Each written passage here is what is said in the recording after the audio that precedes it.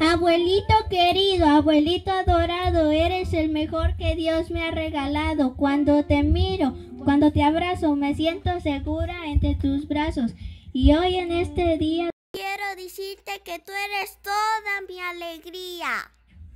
¡Eh!